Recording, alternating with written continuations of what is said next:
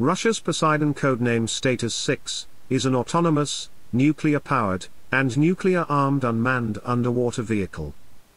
The Russian Navy has received the first submarine Belgorod which is designed to carry Poseidon nuclear-powered underwater drones.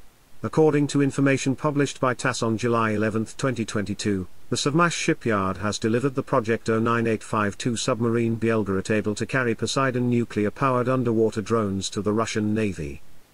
The submarine is designed to accomplish various research tasks, implement search and rescue operations and can carry deep-water rescue and autonomous unmanned submersible vehicles. The Poseidon, previously known by the Russian codename Status 6, is an autonomous, nuclear-powered, and nuclear-armed unmanned underwater vehicle under development by Rubin Design Bureau, capable of delivering both conventional and nuclear payloads.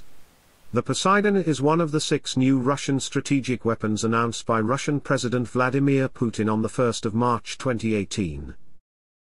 The Poseidon appears to be a torpedo-shaped robotic mini-submarine that can travel at speeds of 185 km per hour. More recent information suggests a top speed of 100 km per hour, with a range of 10,000 km and a depth maximum of 1,000 meters. It is 1.6 to 2 meters in diameter and 24 meters long.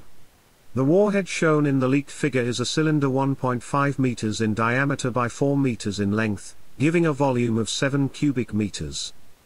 It can travel fast in an intercontinental range with an operational depth of over 1 kilometer. As Russian Navy Commander-in-Chief Nikolai Yevmenov said at the ceremony, the Belgorod will open new opportunities for carrying out research. The Project 09852 submarine Belgorod, the first carrier of Poseidon nuclear-powered underwater drones, was floated out on April 23, 2019. The submarine was initially planned to be delivered to the Navy in 2020. According to available data, its delivery was delayed as the program of its trials was not completed, which was also due to the coronavirus pandemic. Under Russia's state armament program through 2027, shipbuilders will deliver three special-purpose nuclear-powered submarines to the Russian Navy. The submarine opens new opportunities for Russia to implement various scientific research tasks and conduct rescue operations in remote areas of the oceans, Xinhua news agency quoted Nikolai Yevmenov, Commander-in-Chief of the Navy, as saying at a ceremony on Friday.